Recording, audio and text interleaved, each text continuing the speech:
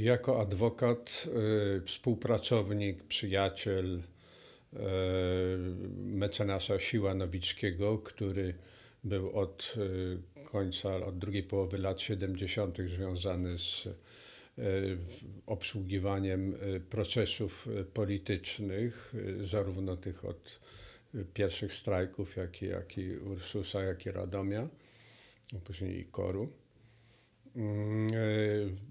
E, stykałem się w, obok niego z tymi, którzy potrzebowali pomocy albo porady. Tak było też i w okresie lata roku 80. Siłanowicki pojechał jako doradca i był bardzo aktywny do e, e, Gdańska i tam asystował przy podpisaniu tego porozumienia. Ponadto był też i mm, e, pełnomocnikiem środowiska szczecińskiego dużo później już. Natomiast ja zostałem w Warszawie i jechałem do, na wybrzeże razem z żoną i, i czwórką małych dzieci właśnie tego 30 przez Gdańsk. Te dzieci trzeba było zostawić. E, i Siłanowicki dostał e, sygnał e, od tutaj międzyzakładowego komitetu, chyba jeszcze strajkowego, który jeszcze się nie przekształcił w między, międzyzakładowy komitet mm, robotniczy, że istnieje potrzeba i zapotrzebowanie na eksperta łącznikowego w dziedzinie prawnej, bo y, są negocjacje, czy zapowiadają się negocjacje z delegacją rządową. Y, wydaje mi się, że mm, ten kontakt był też kontrolowany, bo wsiedliśmy w taki stary samochód, żona prowadziła i pojechaliśmy pierwszy raz tutaj, byłem w Dąbrowie Górniczej do y, Huty Katowice. Moja osoba się wzięła stąd w tych tym skierowaniu mnie za pośrednictwem Władysława Siłanowickiego, że przedtem kontaktowałem się z Kazimierzem Świtoniem i w pewnym zakresie również konsultowałem z polecenia i w substytucji Władysława Siłanowickiego problemy prawne, z którymi się stykał Kazimierz Świtoń, a był już wówczas inwigilowany, represjonowany i poddany no, dosyć ostremu y, y, reżimowi tych represji.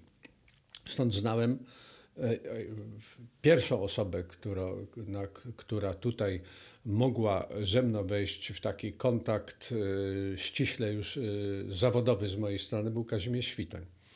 Jadąc tutaj tym samochodem już byliśmy legitymowani dwukrotnie. Za nami jechał samochód milicyjny. Oczywiście nie jeden, bo oni podawali sobie na różnych odcinkach. Jak miałem mniej więcej topografię, dostałem mm, terenu. Jak dojeżdżaliśmy już y, tutaj do Dąbrowy Górniczej, y, a samochód milicyjny w pewnej odległości, ale demonstracyjnie nawet jechał za nami. Powiedziałem żonie, żeby najbliższym zakrętem na chwilę zatrzymała, ja wyskoczę, ona pojedzie dalej. No i tak się stało. Akurat to był przy tym pomoście, gdzie jest mm, e, tramwaj. Ona pojechała, tam się zatrzymała w jakimś zagajniku czy gdzieś. Oczywiście podjechali do niej, legitymowali, bo ciekawi byli, ale już mnie nie było w tym samochodzie. Także udało się. Wsiadłem do tramwaju, dojechałem do bramy, mm, bo tak mi powiedziano, do bramy.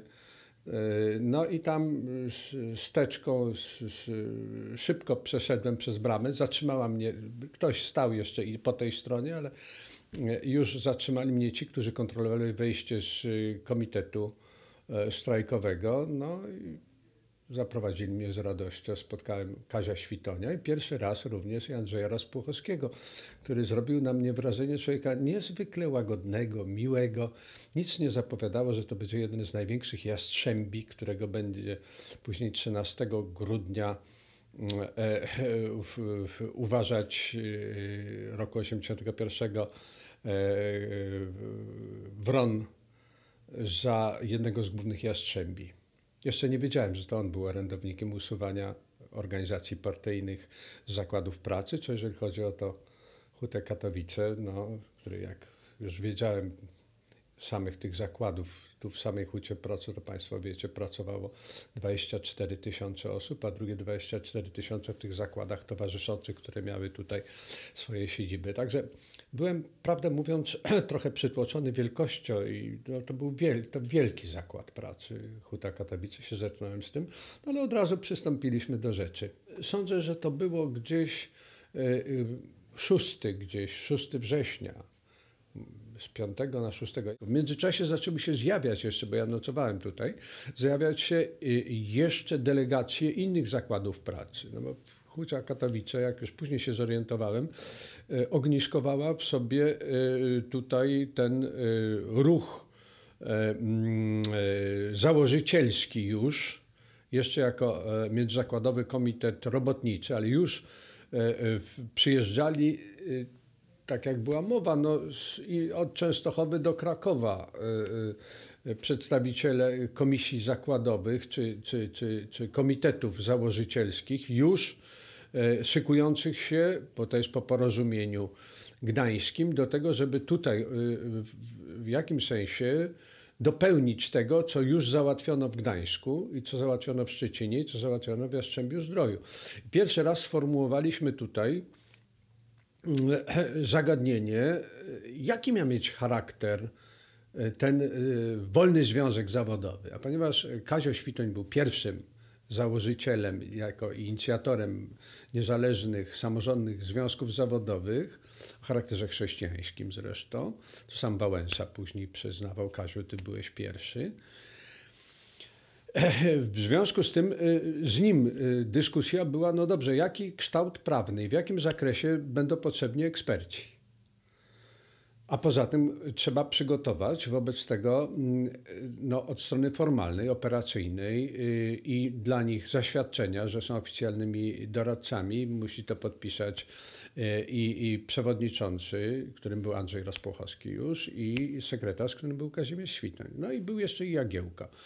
I w, w, tym okresie, chyba jeden dzień czy dwa dni później, pojechałem z powrotem już do Warszawy, już zaopatrzony w to zaświadczenie MKR, chyba jeszcze MKR, czy już MKZ, nie pamiętam, że jestem oficjalnym doradcą y, MKZ-u do rozmów ekspertem prawnym.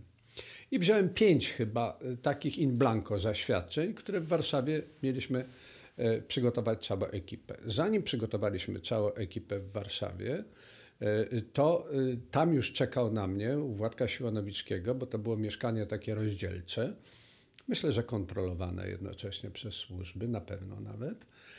Ale byśmy byli świadomi tego. To już jest po podpisaniu tych, tych porozumień. Myśmy działali z otwartą przyłbicą. E, Wiesio Chrzanowski, mecenas, starszy mecenas, jeszcze nie pełnił żadnych wielkich funkcji wtedy, tylko był adwokatem, ale był wybitnym specjalistą, cywilistą e, od, i od, nie tylko od prawa spółdzielczego. I w, ponieważ ja już przetarłem e, tą drogę i wiedziałem, jak tu się dostać, wsiedliśmy do pociągu i przyjechałem z Wisławem Chrzanowskim. Jemu wszystko powiedziałem, co, kto, jak. No całą to wiedzę swoją przekazałem. To anegdotyczna jest sprawa. Przyjeżdżamy do tej Dąbrowy Górniczej. On mówi, no dobrze, panie mecenasie, panie Piotrze, ale jak my się do tej huty dostaniemy? Ona jest pewno pilnowana, no będą nas legitymować. Ja mówię, jak, no, jak, czym my dojedziemy? Problem jest do dzisiaj od tego dworca, jak tutaj dojechać. A ja mówię, panie mecenasie, nie ma problemu. Milicja na pewno też y, wie o nas, że my jedziemy. Podejdziemy do tego samochodu i powiemy, mamy tutaj y, y, oficjalne reprezentacje jako te i niech nas zawiozą. Wtedy pierwszy raz popatrzył na mnie podejrzliwie jak człowieka, na człowieka niespełnego rozumu. Oczywiście dojechaliśmy, nie pamiętam czy tramwajem, czy taksówką, jakimś, jakimś nie to milicją, ale zauważyłem taki odruch w jego oczach e, niepewności, czy ma z zupełnie e, prawidłowo myślącym człowiekiem do, do, do czynienia. Ja byłem gotów to zrobić. Jak ktoś powiedział, mieliśmy chyba w owym okresie e, taki napęd mocny do działania, tego, że muszą z nami rozmawiać, tego, że za nami jest tak ogromny już ruch, jeszcze nie wiadomo jaki przybierze kształt, ale że ten ruch y, jest tak jak powódź, która idzie i, i, i no, nie można jej zlekceważyć, a my jesteśmy niesieni jako ci, którzy są niezbędni do tego, żeby temu wszystkiemu nadać charakter no, sterowalny.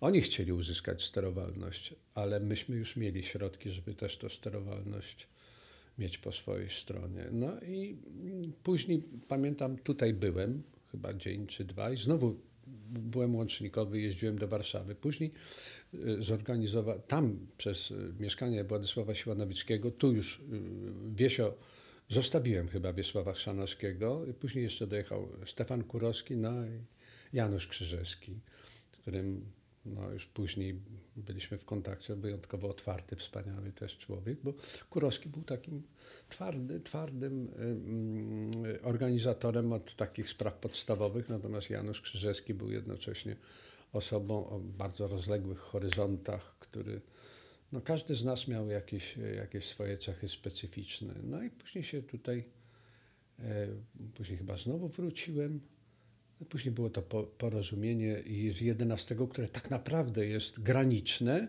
ale które rozpoczęło cały szereg dodatkowych protokołów, porozumień, które uważam za obowiązujące do dzisiaj.